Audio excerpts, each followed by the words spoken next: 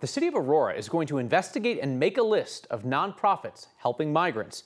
The resolution passed by the conservative city council majority states the claims that the state government and city of Denver were placing migrants into Aurora. The investigation is aimed at determining whether that claim is actually true.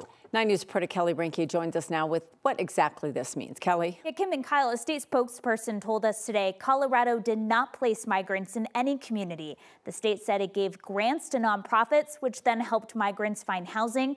It didn't stop the resolution from passing with a 6 to 2 vote.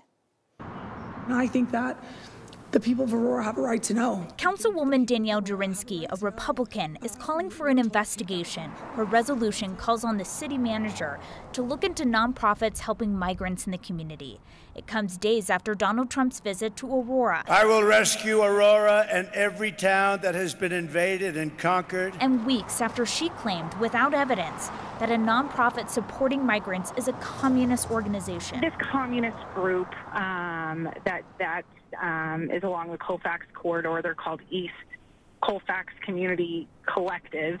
Um, they went out and propped up the folks that are living there, um, wrote signs for them, you know, and, and, and, and propped them up out there saying, you know, there's no there's no gangs here. Her resolution to city council says the state and Denver have intentionally placed migrants in Aurora, and it orders the city manager to investigate whether that's true. How much money went towards it, what the state's involvement was, what the city of Denver's involvement was. A yes vote by council, which has a Republican majority, means the city manager will create a list of nonprofits that have received funding to help migrants. It's going to target and scapegoat migrants and migrant serving organizations.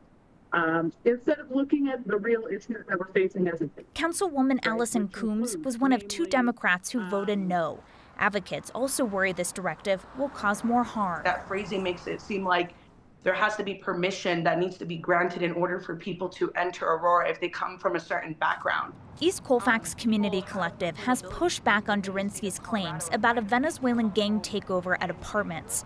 It was then that Jurinsky said they were a communist group. Like many nonprofits have, have had to increase their sense of security at their respective places because uh, since everything has been happening since August, um, just because of how bad the anti-immigrant sentiment has gotten, a progressive council member says she worries that her colleagues will use this information to target nonprofits and then take away their funding.